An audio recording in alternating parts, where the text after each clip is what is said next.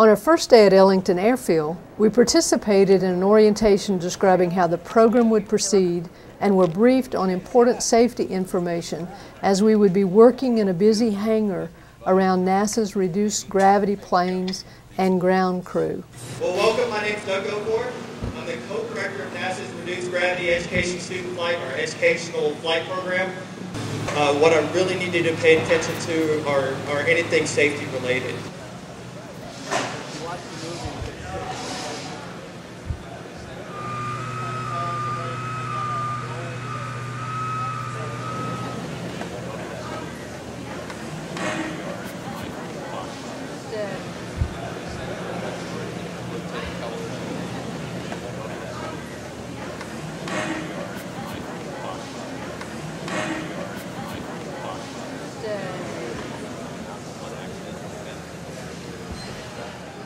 The first order of business after orientation was to unpack the supplies we had shipped from North Carolina and begin the assembly of our experiments.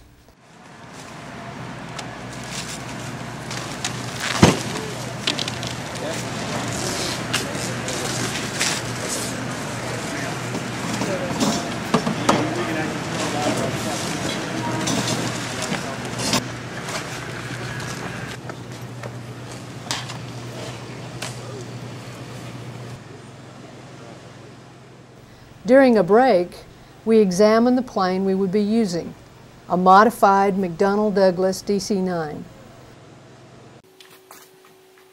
It flies a series of parabolas over the Gulf of Mexico, during which time varying degrees of weightlessness are achieved.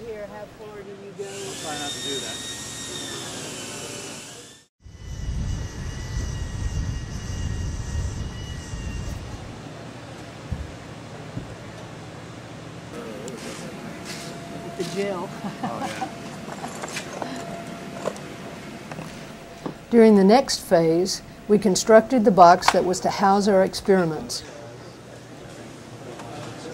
Those are sort of easier to put on after you get everything else put together. Go ahead, just put that couple on. And we got the other ones. Washers on, the washers on the outside and the Teflon's on the inside. can't remember which Yeah, you have a little stability. Mine, we did this last time.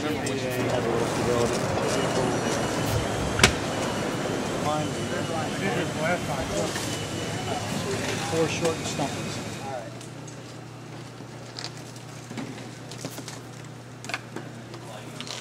Then we mounted the three experiments and conducted ground tests. Bring this forward.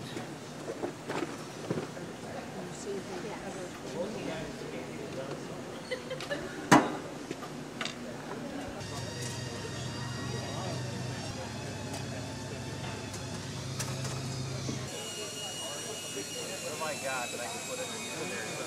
Like a,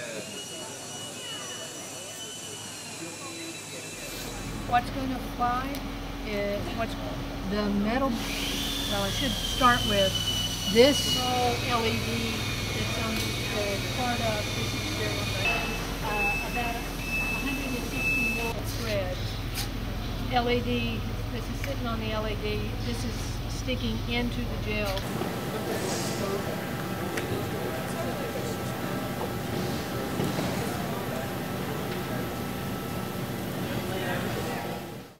One afternoon, we left Ellington and drove to the Sonny Carter Training Facility operated by NASA. This building houses the Neutral Buoyancy Laboratory, one of the largest indoor pools in the world. The walls of the pool and the floor of the pool are painted white. The water is clear. Inside the pool are mock ups of key parts of the Space Shuttle and the International Space Station.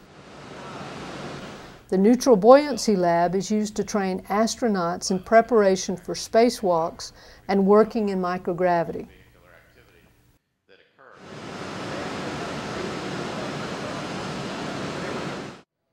The Sonny Carter facility also contains a hyperbaric chamber, which was used to test our flight readiness.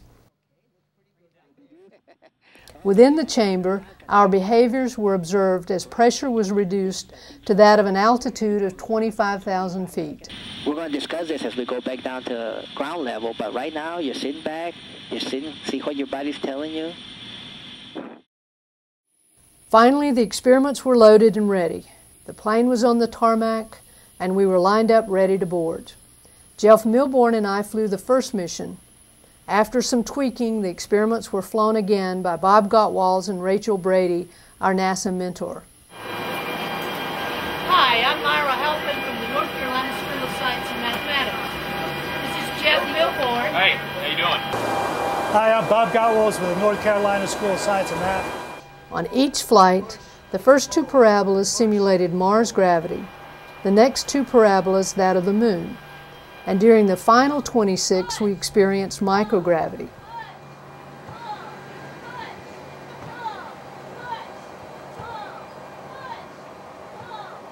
While we tended our primary experiments for the first 30 parabolas, during the last two we were encouraged to conduct secondary experiments.